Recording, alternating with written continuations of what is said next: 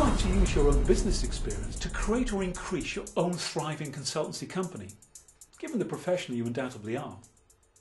As professionals in this industry, you'll always be looking to improve yourself and go from strength to strength. And now is the perfect time to capitalise on these strengths and create your own perfect franchise consultancy business.